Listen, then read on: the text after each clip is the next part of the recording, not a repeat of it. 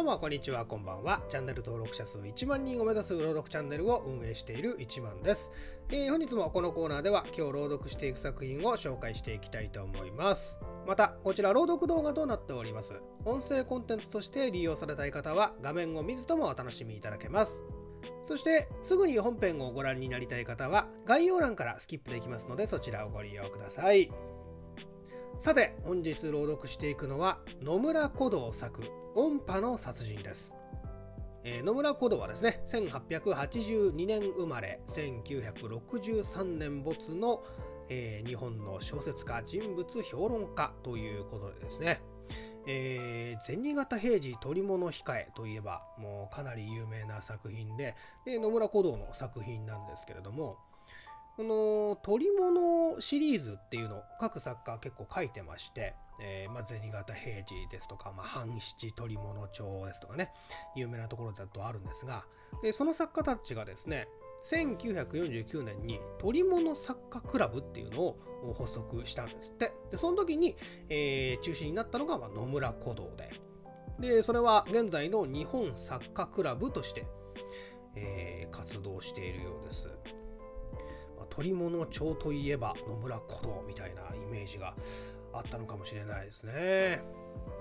えー、そんな鳥物作家が描く推理小説。まあ、これは鳥物ではないんですけども、えー、推理小説、えー、この作品は新聞記者が探偵役となって進んでいく物語なんですけれども、お楽しみいただければなと思います。それでは改めまして本日朗読していくのは野村古道作音波の殺人です。それでは本編をどうぞ。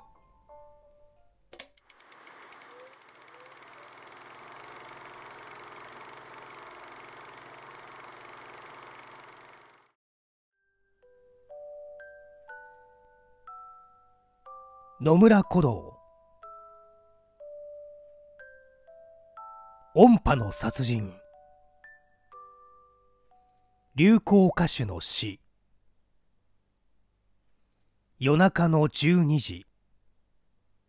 電気時計の針は音もなく明くる日の最初の時を指すと社会部長の千草十次郎は最後の原稿をひとまとめにしてポンと統一部の助手の机に放りました。さあこれでおしまいだ。千草はガードの熱いおでんと中野のアパートのぬくいベッドとどっちにしようかと考えておりました。丸12時間の労働で心も体もボロ切れのように疲れ果ててこの上は地球そのものを爆弾にして口火を転ずるような大事件が持ち上がっても畜生一行も書いてやるもんかといったやけな心持ちになるのでした。ちぐささん電話ですよ。球児の声と電話のベルの音が千草十次郎の横着な無双を破りました。どこだ？早坂さんの声ですよ。部長さんがいないかって。勇めまた銀座で飲んでいるんだろう。帰ったことにしておけ。ダメですよ。向こうへ千草さんの声が聞こえるんですもの。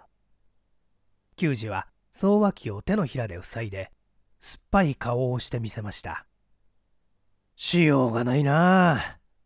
また軍用金の挑発だろう。千草十次郎は卓上電話のコードをたぐってこいつは用土係から厳重に禁止されていることですがテーブルの上に足を乗せたまま受話器を取り上げました。大将大変なことが。外交記者中の辣腕早坂勇の声がキレキレに聞こえます。何を慌てるんだ勇。新聞記者に大変なことなんかあるものか。もっとも往来で借金取りに会えば別だが。そんなバカなことじゃない。長島若菜が殺されたんだ。何？あの流行歌手の若菜が。千草十次郎は噛んでいたピースを乗り壺の中へねじ込むとテーブルの上の足を床に下ろして一生懸命卓上の電話にかじりつきました。ニュースを呪っていたつい今しがたの心持ちなどはきれいに忘れて火のような新聞記者意識が疲労も倦怠も焼き尽くすように燃え上がったのでした。自分の家でピストルで撃たれて死んでいるんだ。犯罪はたった1時間前に行われたばかり。君は今どこにいるんだ？若菜のうちだ。ふらりと警視庁へ行くと捜査課の連中がこそこそ繰り出す様子だからタクシーで後をつけると代官山の若菜の家じゃないか。表は警察が張り番をして通さないから女中を口説いて風呂場から入れてもらったんだ。グランドピアノの前に品絨毯を血に染めて仰向けに倒れた若菜を見た時は俺もぎょっとしたよ。女がいいからそりゃすごいぜ。バカだな。死骸なんかを眺めてぼんやりしていたんじゃあるまいな。他社の連中はどうしてる？玄関で揉み合っているよ。幸い中へ潜り込んだのは俺一人だ。よしその電話から離れるな。順序を立てて話せ。市内番を下ろすのを待っているから。千草十次郎は統一部の方を振り返って締め切り延期を手で合図しながらざら紙の原稿紙を引き寄せて鉛筆をなめました。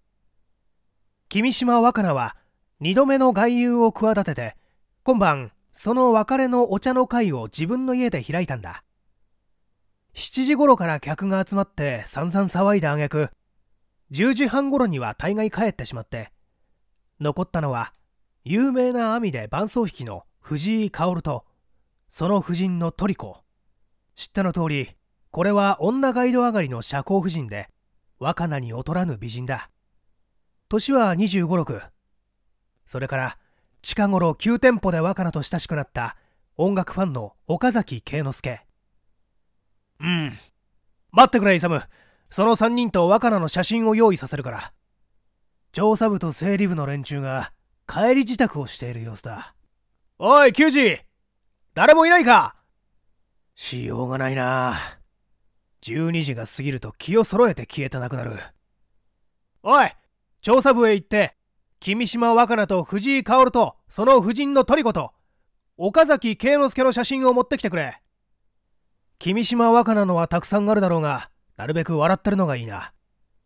それから正半部へ電話をかけて大急ぎの仕事があるから23人残るようにそう言ってくれさあ勇。いいぞ。原稿の後を続けろ。ちぐさは時間も疲れも超越して三面六臂ぶりを発揮しました。岡崎は隣室でカクテルをこしらえていたそうだ。藤井は若菜とピアノの前にかけてジャズかなんかを連弾していたそうだ。連弾ピアノの音と若菜の歌が聞こえていたっていうからこれは嘘じゃない。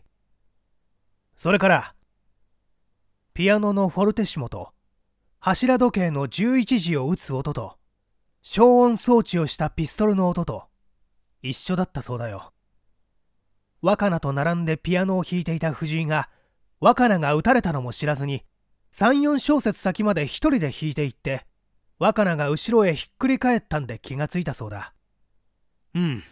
それから千草十次郎の鉛筆は恐ろしいスピードで動きます。早坂勇の電話がすぐ文章になるのは長い間の熟練でこればかりはどんな名文化でも真似のできない芸当です。起こしてみるとピストルの弾が左背中の肩甲骨の下から心臓の真ん中を射抜いていた。そこへ隣室の岡崎も廊下にいたトリコも女中や弟子たちも駆けつけたんだ。凶器はピアノから一軒ばかり後ろ入り口のドアと死骸の間に落ちていた。品絨毯の上へ。うん。幸い岡崎慶之助はアマチュアだが探偵小説も書くので死骸にもピストルにも手を触れさせずすぐ所轄署へ電話をかけた。医者は呼ばなかったのか。それから医者を呼んだが心臓を射抜かれているから助かりっこはない電話は警察が先で医者が後だね。確かに。千草十次郎はふとこの矛盾に気がついたのです。間違いはない。取り調べの模様は大きな声じゃ言えないよ。帰って書こう。いや帰っちゃいけない。夜明けまで頑張れ。電話を警官へ明け渡さなきゃならない。じゃあ頼むぜ。頑張るだけ頑張ってみるから。それから若菜の先の主人音響学者の長島長太郎博士へ人をやったらなんか変わった話が取れるかもしれない。今トリコが調べられているよ。早坂勇の声は途切れ途切れで恐ろしく面食らっておりました。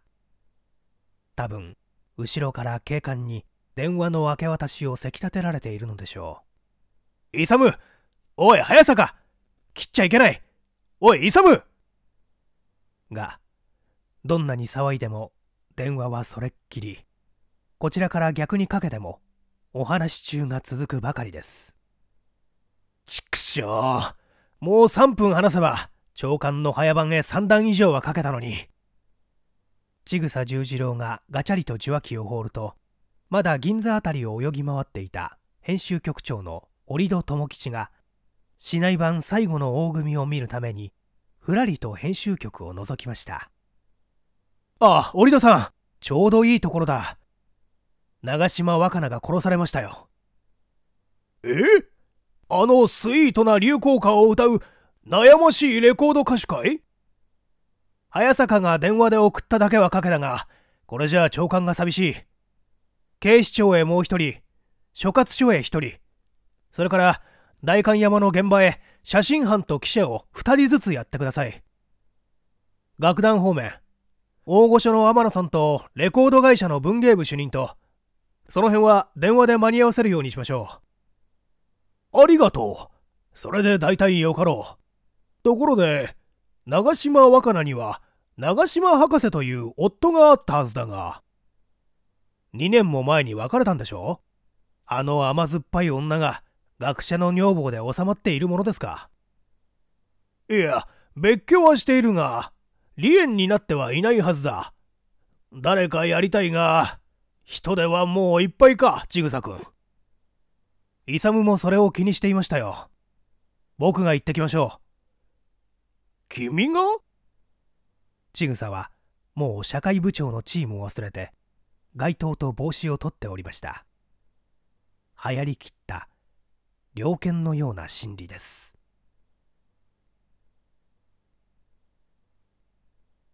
巨大な音響殺人鬼。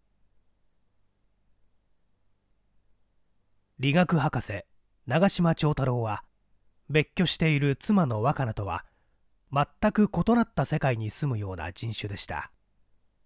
若菜が世にも悩ましく美しくこれは化粧効果を形容した言葉で若菜の顔の生理的評価ではありません。やるせなき様子に対して長太郎博士は言いようもなく無屈的今用浅木浦の紳士だったのです。同棲5年の後2人はあまりにも違いすぎた人生観と生活様式の調和を見いだしかねて2年ばかり前から公然と別居しました。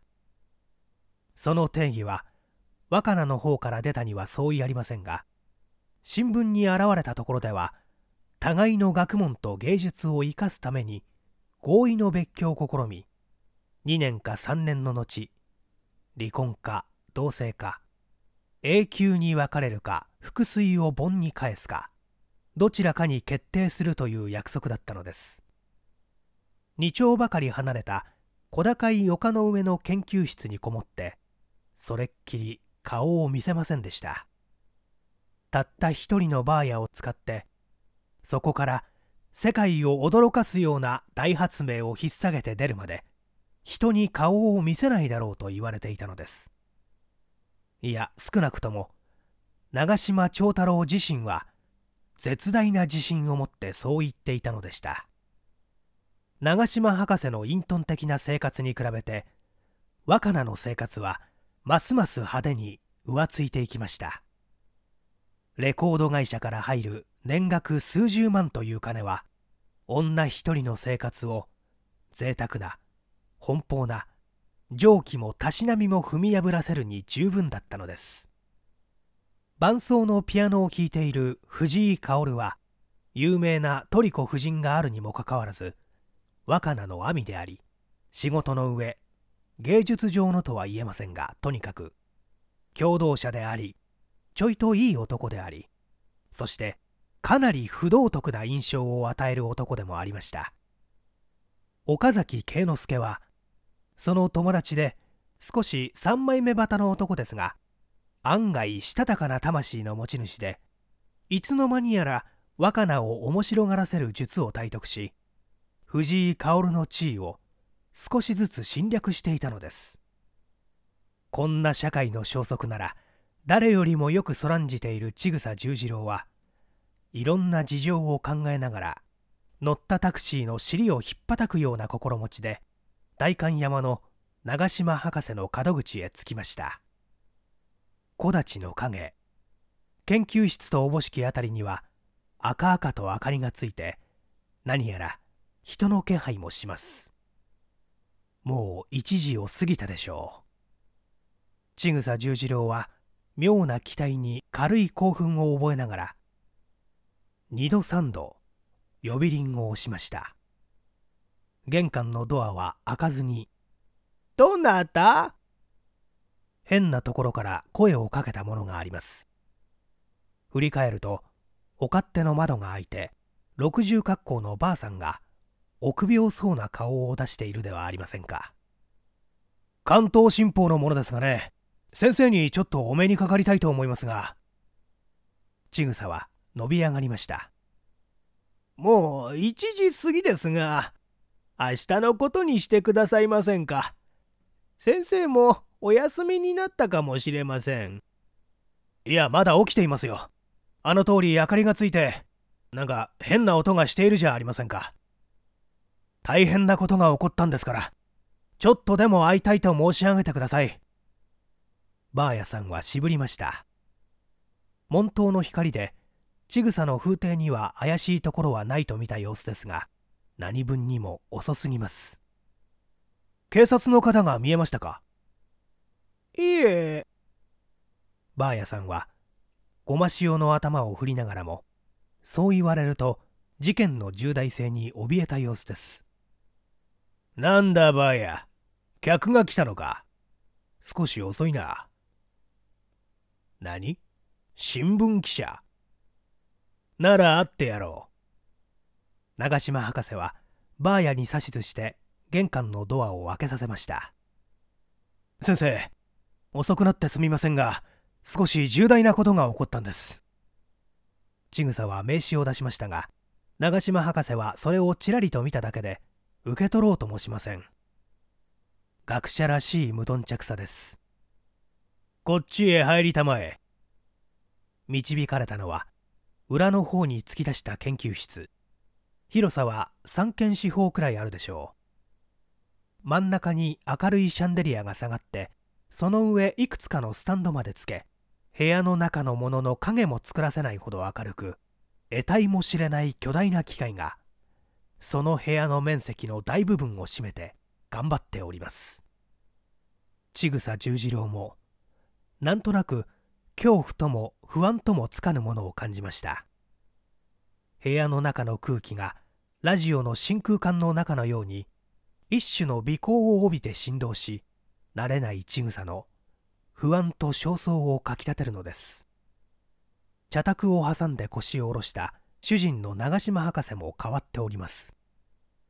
この薄寒い真夜中に白いメリアスらしいシャツ一枚ヤギひげの生えたミイラのような黒い顔とこればかりは底の知れない深い目をこっちへ向けて催眠術師のようにじっと千草十次郎の顔を見るのです。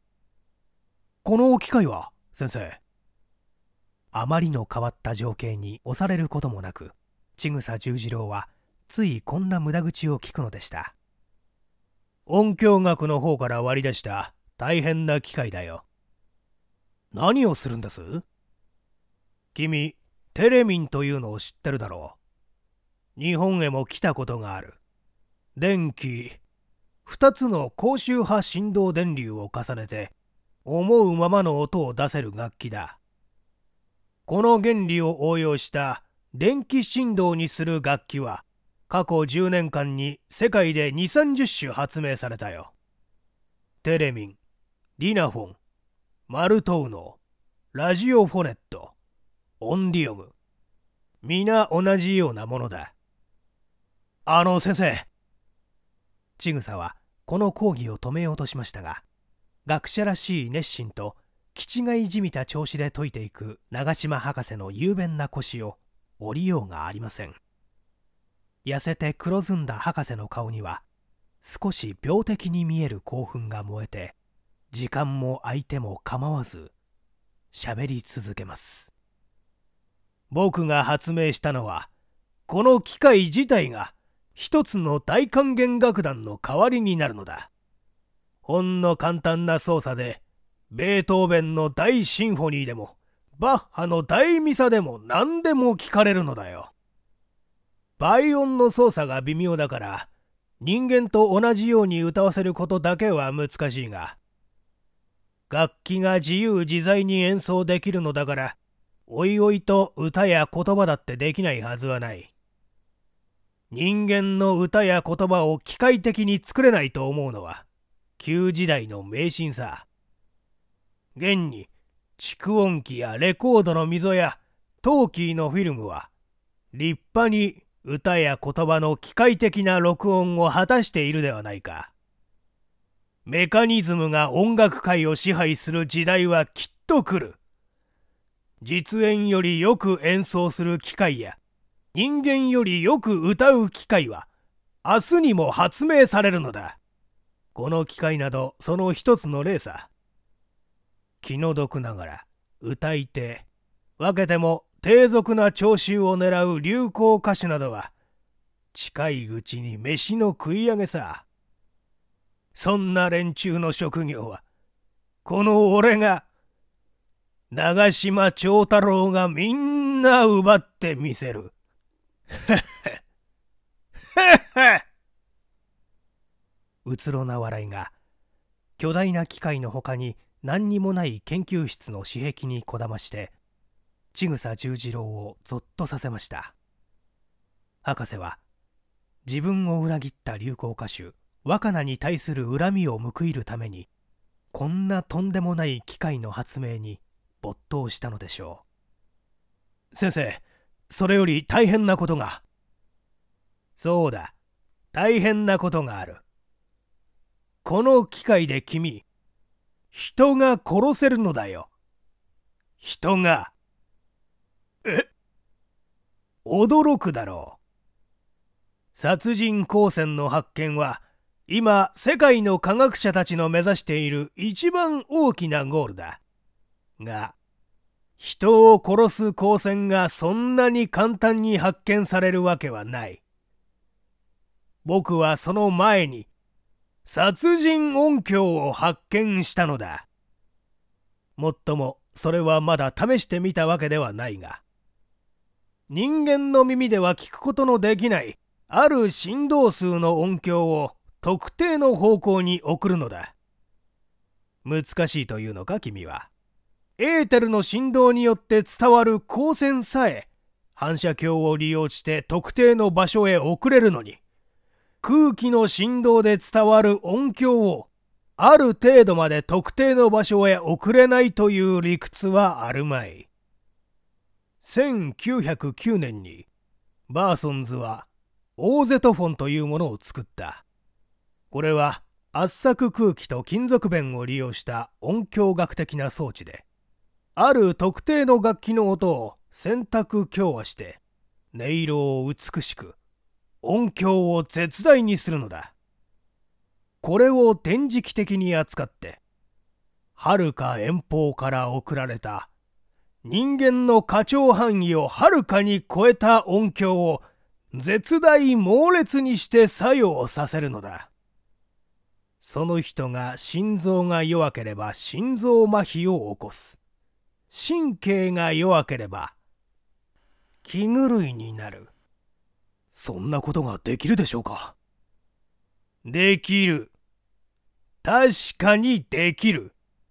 昨夜も今晩も私は酔いから夜中までこの音響を送る試験をしたが博士は顔を上げて一方だけ明かった窓の彼方真っ黒な夜の空を眺めやりましたそこには2丁ほど隔ててこの独学の博士を捨てた流行歌手若菜が乱林極まる生活を営んでいるはずだったのです。先生奥さん若菜さんが殺されましたよ。何？私はそれをお知らせに来たのです。千草十次郎はとうとう言うべきことを言ってしまいました。本当かそれは？いつ頃だ？長島博士はいきなり立ち上がると窓枠に手をかけてはるか若菜の家の方を見据えております。今から2時間ほど前ちょうど11時だったそうです。あの時だ。俺はこの機械の試験を10時から始めた。11時はちょうど性能をいっぱいに働かせた時だ。それから少しずつ弱くした。先生。見るがよい。俺に背いた女はとうとう殺されてしまった。職業を奪われる前に命を奪われてしまった。長島博士は千草十次郎の肩へ手をかけて大いに笑おうとした様子でした。がその笑いは喉にこびりついて泣くようなむせぶような異様な声に変わっていくのです。巨大な機械は相変わらず小さいが強大なうなりを続けております。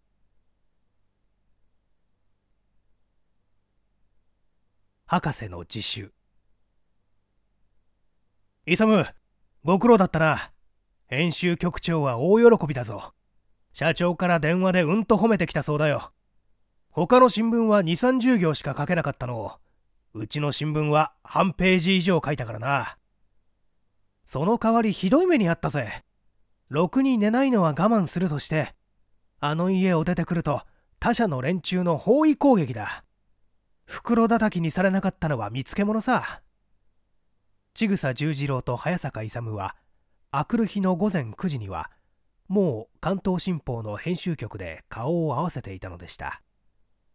まあ愚痴を言うな。特別賞与物だよ。今度という今度は洋服屋へ3年越しのゲップが払えるだろう。特賞をゲップに回すやつがあるものか。ゲップは3年遅れてもゲップさ。呆れた野郎だ。ところで材料は？お願いだから今日の夕刊は俺に1ページ書かしてくれ。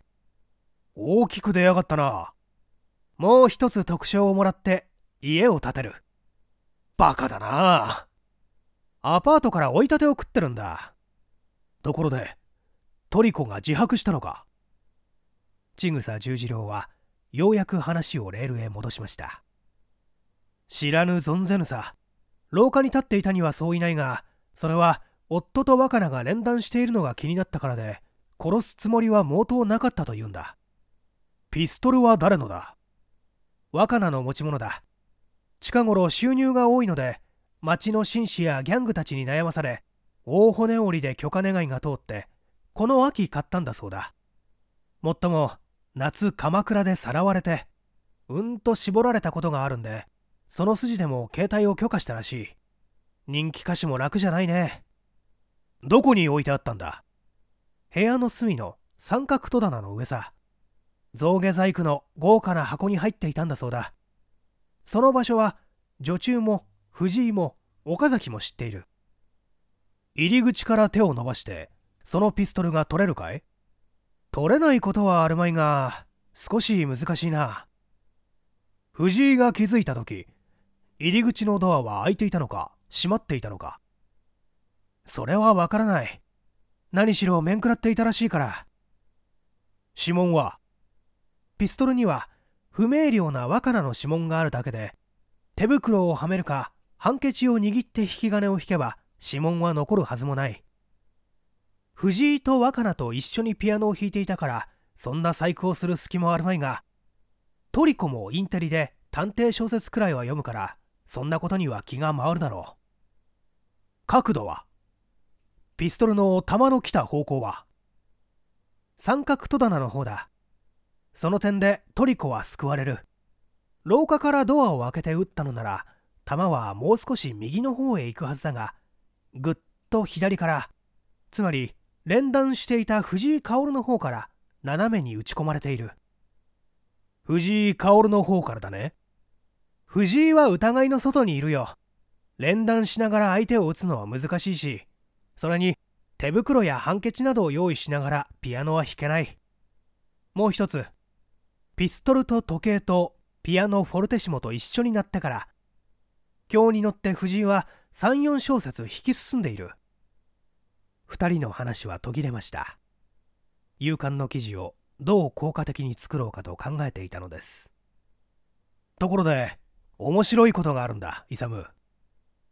今度はちぐさの番です。なんだ？長島博士は今朝自首して出たよ。へえ。若菜を殺したのはこの長島長太郎にそういない。気が違ったのか。若菜はピストルで撃たれて死んだというのに。長島博士は音波で殺したと言い張るのだ。音波？音の波だぞ。博士は音響学上の大発見をして音楽家の職業をみんな奪うという大変な機会をこさえているんだよ。その機会がまた同時に殺人音波を遠距離に送れるというのだ。若菜の住んでいる家はもともと博士の持ち家であの部屋の窓には共鳴装置を施してあり三角戸棚のピストルが発射されたとすればそれは博士の研究室から送られた一種の音響が部屋の特別な装置で拡大強化され神経の弱い若菜が発作的に気が触れてピストル自殺をしたにそういない。というのだ。驚いたろう。それは正気の沙汰かい？警視庁で精神鑑定をしたが少し学者らしいエコジなところはあるが大した異常はないということだ。で留置でもしたのかい？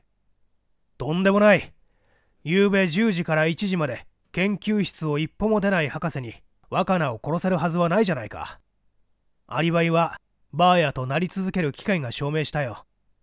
博士は若菜を恨んでいたにそういないがそんなことで容疑者にするわけにはいくまい。だが新聞種には面白いな。その新聞に出したものかどうか考えているよ。長い間若菜を憎み通していたから発作的に気が変になって身に覚えのないことを名乗って出たんじゃあるまいか。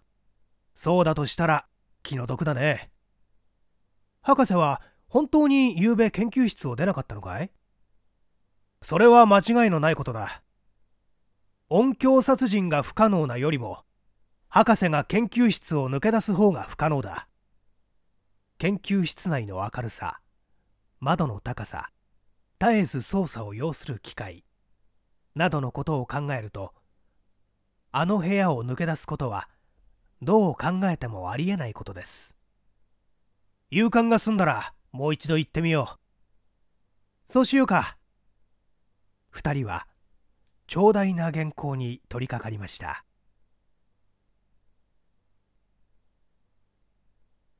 岡崎とトリコの言い分。代官山の若菜の家には遠い親類や楽団の知友たちが入れ替わり立ち替わりきましたが日頃いい付き合いをしていなかったのと変死ということが頭にこびりついているのでみんな言い合わせたようにさっさと引き上げ結局関わり合いになった藤井薫と岡崎慶之助とレコード会社の23人が何から何まで世話をしなければなりませんでした。千草十次郎と早坂勇は大勢の新聞記者と一緒に手伝うような邪魔をするような不得要領な動き方をして鵜の目鷹の目で種を漁っておりました。早坂さんちょっとお耳を。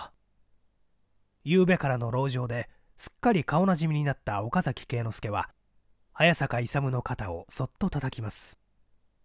一緒について2階の小部屋置き忘れたような長余剰へ行くと。そんなことは警察の方には言えませんがね。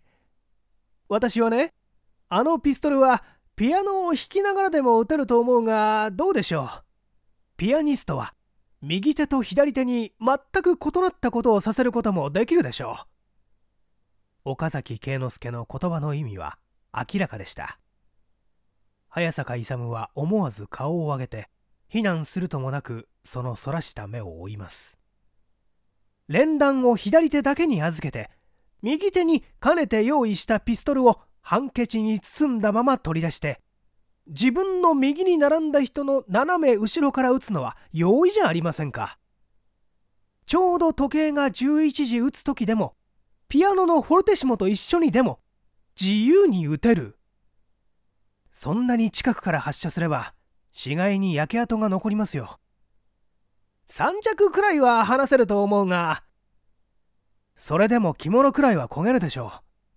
あの通り肌の隠れるだけの薄い様相だったし早坂勇は反感を講義と一緒にさらけ出しました。がハンケチで緩く銃口を包んで撃てばそれは緩和できると思う。そのハンケチさえ隠す時間があれば焼け焦げのあるハンケチなどは持っていなかったでしょう。あの通りすぐ警官が来て部屋も体も調べたが。とにかく近頃若菜が僕と親しくなるのでひどく神経を立てていたもののあることを記憶してください。僕は若菜の敵を討ちたいという他に何の企みもないんだから。早坂勇は爪を噛みました。警官へは言わずに新聞記者の自分に言う真意がわからなかったのです。ちょうどその時疑いが晴れて返されたトリコも夫の藤井薫と一緒に世間体だけの手伝いに来ておりましたが顔見知りの千草十次郎に会うと「ちょいと相談に乗ってくださいな千草さん」なんだいトリコさん。千草は誘われるまま裏庭に立っておりました。生垣と建物の陰でそこでは誰にも聞かれそうにはありません千草さん私は本当に悔しいわ。こんな疑いまで受けて。トリコはポロポロ涙を流しておりました。25、6の豊満な死体から、憤怒と魅力がいっぺんに放散するような女で、狭い物の隅に押し付けられたちぐさは、なんか息苦しいような圧迫を感じます。私は若菜を恨んでいたには違いないけれど、あんな下等な女を殺して、私の首へ縄のつくようなバカなことはしない。若菜が下等か、トリコが上等か、それはちぐさにも分かりませんが、とにかく、負けず劣らずコケティッシュで、国際夫人と歌い手の違いはあっても、一種の美しさと人気とには、さしたる違いのない二人だったのです。警察の方へ言ったけれど、信用してくださらない。若菜を殺したのは確かに岡崎さんですよ。そんなことが。ちぐささん、あんたもそう思うでしょ？でも隣の部屋でカクテルをこさえていたという岡崎さんが、あの騒ぎで駆けつけた時、何にも持っていなかったじゃありませんか。隣の部屋にだってカクテルどころか、お酒の瓶はあっても線も抜いていなかったはずです。でも、隣の部屋からではピストルを撃てようはない。傷口とはまるで反対の方角だ。と、千草十次郎。だから甘いと言うじゃありませんか。ピストルは三角棚のそばの窓から撃ったんですよ。あの三角棚と窓はスレスレじゃありませんか。すると、犯人は外から手を出してええその通りよ。ちぐささんはさすがに頭がいいわ。窓の外から手を入れて、象牙の箱のピストルを取り出し、そこから狙って撃ったに違いありません。それをトリコは見たというのかい？見たも同様に。トリコは少ししどろもどろになりましたが頭の中で証拠を組み立てようとする必死の目が焼き付くようにちぐさに迫りますそれも面白い考えようだができないことが2つある一つは岡崎さんが隣の部屋から窓の外へ回るにはトリコさんの立っている廊下か女中たちのいるお勝手を通らなければならない。窓からだって飛び降りられるでしょう。窓から飛び降りて庭をぐるりと回って人を殺して元の窓から帰ったんではあの騒ぎに駆けつけるのが遅くなるはずだ。ところがみんな一緒に駆けつけたと女中たちもトリコさん自身も証言している。それから窓は相当高いから背の低い岡崎さんでは三角棚の上からピストルを取ることも狙いを定めることも難しい。踏み台をしたら？洋館で外はあんなにきれいに取り片付けられている。あの辺りには踏み台になるものは一つもない。ちぐさはほんの1時間ばかりの間にトリコの疑いを突き崩すだけの材料を集めていたのです。まああなたは岡崎さんの弁護なさるつもり？そんなことはない。悔しいわ。ドアの隙間から窓のところに白いものがちらりと見えたんですもの。それが多分トリコの本音だったでしょう。本当かそれは？ちぐさ十次郎は急に熱心になりました。本当ですとも私は目がいいのが自慢なんです。夫と若菜の連弾を除いたトリコ。それくらいのことを本当に見たのかもしれません。よしそれでは考え直そう。踏み台さえ見つかればこっちのものだ。石でも木でも。窓は本当に開いていたんだろうな。とちぐさ十次郎。若菜さんは暑がりで。ピアノや歌の稽古の時はいつでも窓を開けますよ。ちぐさ十次郎の顔は次第に真剣になります。さっき早坂勇から聞いた岡崎の言うのが本当か。それともトリコの方が本当か。もう一度スタートを踏み直して考える必要があります。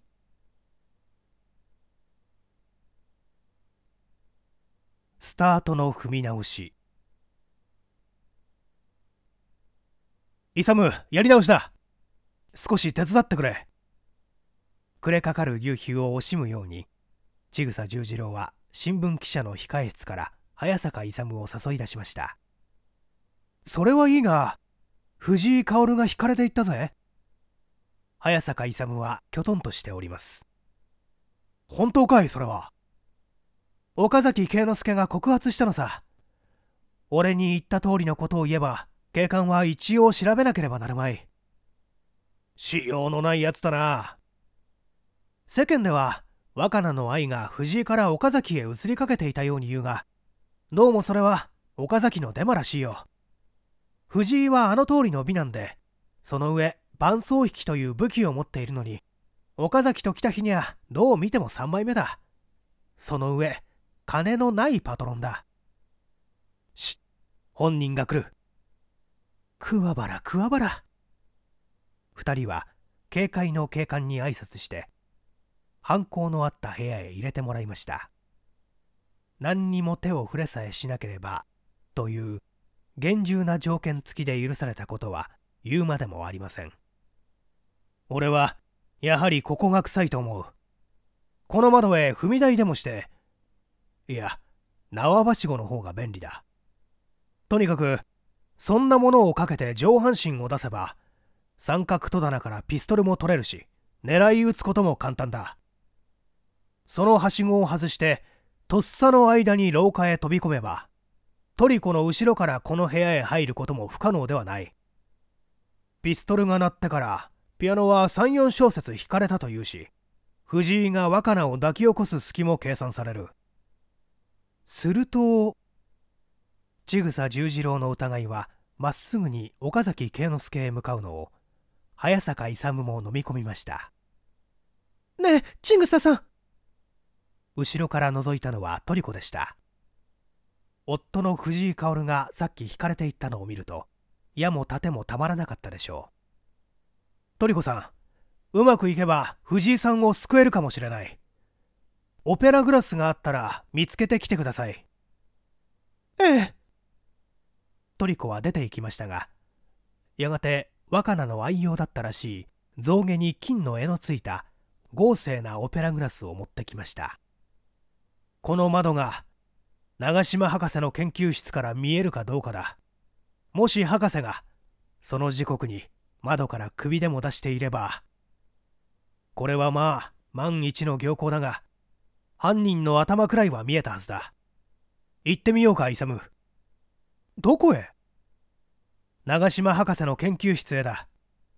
夫人が死んでもここへ来ようともしない博士の胸には癒すことのできない大きな怒りと悲しみがある。行って慰めてあげてもいい。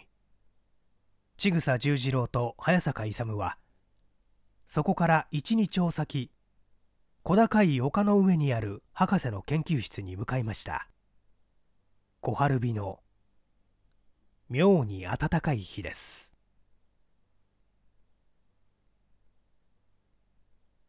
ピアノの鏡板に映った顔。ご研究中でどなたにもお目にかかりませんが。バーヤの言うのを押し返して奥さんを殺した犯人が捕まりました。それを申し上げに参ったんだと伝えてください。ちぐさのこの駆け引きは見事に成功して間もなく2人は前の晩の研究室に通されました。まだ昼で明るい電灯はありませんが不気味に振動する巨大な機械のそばに食卓を前にして何やら考えている博士の顔は新陳としております。また来たのか？四十五六というところがせいぜいでしょうか？露骨の苦労と研究に痛められて五十より若くは見えません。静かにこう上げた顔には言いようもなく寂しい悲しみが冬の水に映った雪雲のようによどんでいるのでした。先生藤井薫が縛られていきました。そうか。なんという気のない声でしょう。あちらのお宅へはいらっしゃいませんか？先生。行きたくない。私は研究者だ。あんなことに煩わされたくない。奥さんの告別式にも。2年前に自分を捨てて男から男へと芳醇な生活を続けていった若菜。死んだというだけで踏みつけられた夫の胸から憤怒も怨恨も消え去ってしまうものでしょうか。博士は黙って眉を垂れました。ここからあのお宅の窓はよく見えますね。ちぐさは和刀を転じました。困ったことによく見えたよ。ちょっと眺めさせてください。ちぐさはオペラグラスを目に当てて窓から熱心に向こうを見やりますあの晩11時ごろここからお顔を出したらなんか見えたはずですねこの研究室には入り口がたった一つですねそうだよ。玄関の鍵は、バーヤが持っている。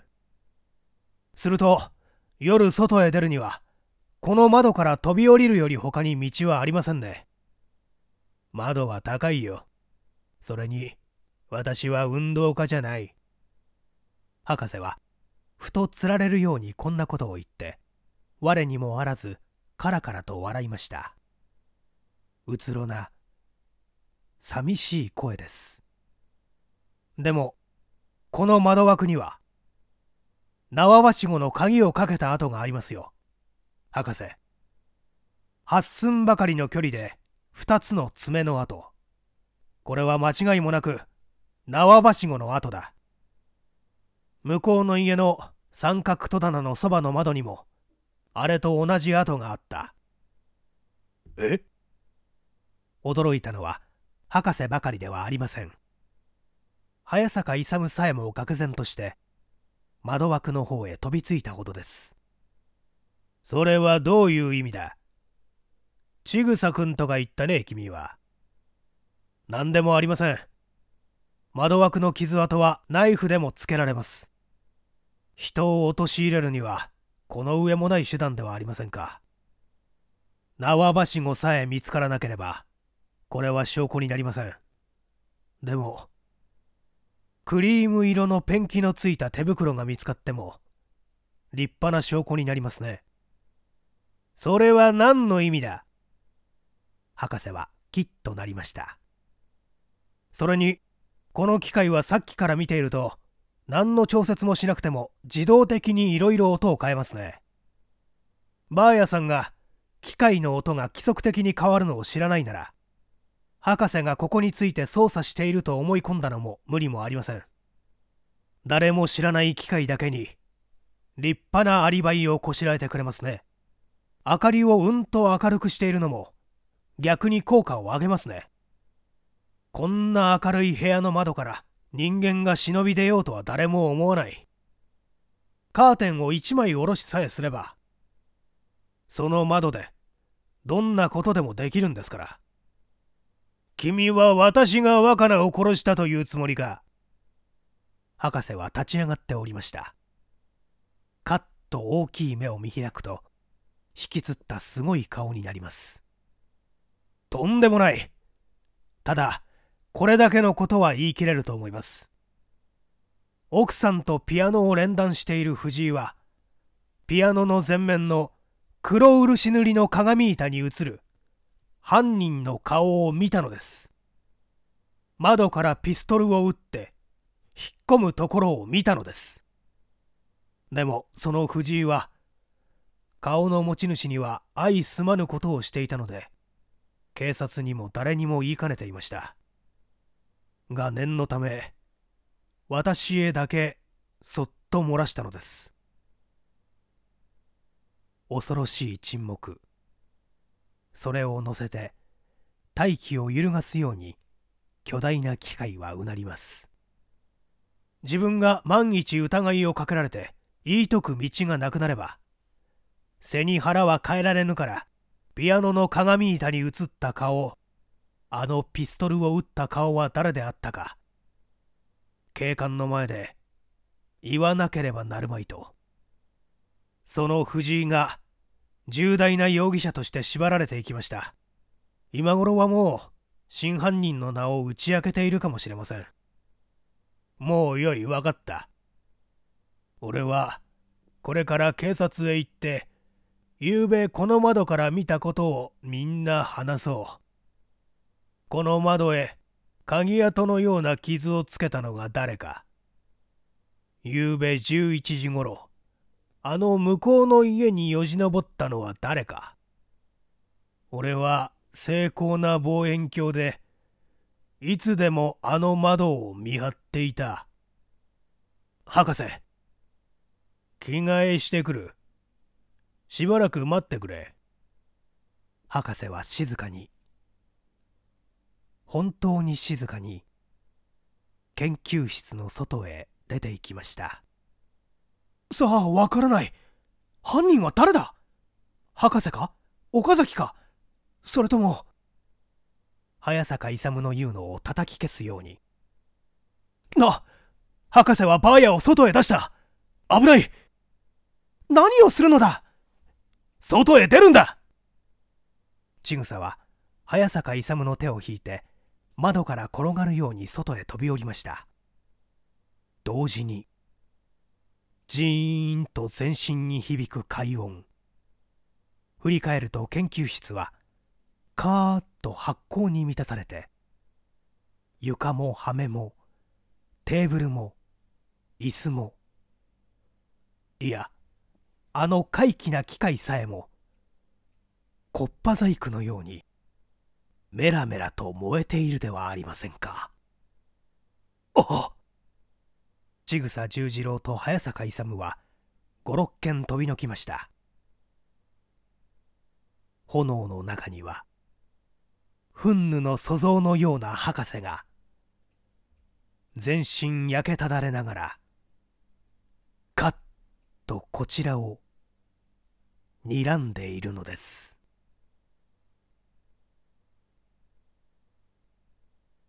新聞記者の悲哀。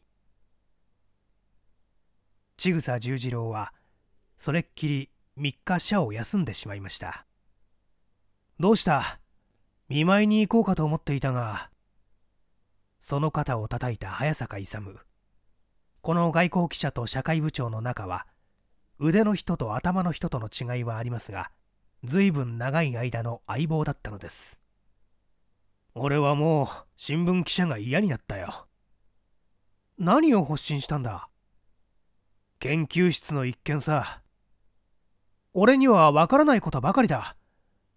その筋でも若菜殺しを博士と悟った様子で藤井薫を釈放したそうだが博士に違いあるまい。俺は最初からそんな気がしたよ。音波の殺人なんてとんでもないことを言って煙に巻いたのは一種のカモフラージュさ。自首したところなどは実に頭がいい。誰でも博士は少し気が変になったと思うよ。アリバイはうんと用意したしあんなに物が運ぶとつい犯人の自信が強烈になる。千草十次郎は時進みます。でもあんなにたくさん博士に不利な証拠があったじゃないか。と早坂勇。みんな嘘だよ。若菜の殺された家の窓枠は古くて木が荒れているから縄ばしごの鍵の跡などは見えなかったのさ。でも踏み台を使っては始末が悪いから縄ばしごにそういないと思って博士の研究室の窓へ行ってみるとそこにはちゃんと跡があるじゃないか。博士の研究室の窓枠は新しくペンキも塗りたてだ。驚いたろ？驚くよ！でもピアノの鏡板に映った顔は？それも嘘だ。油糸ピアノなら後ろの窓の首が鏡板に映って弾いているものにも見えるが、グランドピアノでは映らないよ。それに、譜面台にはジャズの譜がうんと乗っていたろう。ひどいことを言ったものだね、君は。早坂勇も呆れ返りました。だから俺は新聞記者を装うと言ったのさ。博士が犯人だということがわかると、何でもかんでも白状させて、新聞の特ダネに載せたかったんだ博士は生きている気はなかったかもしれないが式を早めたのは確かに俺のせいだよそれに殺人音波は嘘だがあの大管弦楽団の代用をする機会は素晴らしいものだったにそういない。それを灰にしてしまったのは惜しいことだ。今から考えてみると博士よりも悪いのは若菜と若菜をめぐる不良どもさ。千草十次郎の打ちしおれた顔を見ると早坂勇もつい考え込んでしまいましたお互いにもうこの辺で足を洗おうか勇そんなことを話しているさなか重役室では千草十次郎と早坂勇をどう褒めたものか評議しておりましたちぐさん、早坂さん、重役室までおいでください。球児が呼んでおります。辞表は後で出すとしても、口頭で引くぜ。いいとも。二人は顔を見合わせて、寂しくうなずきました。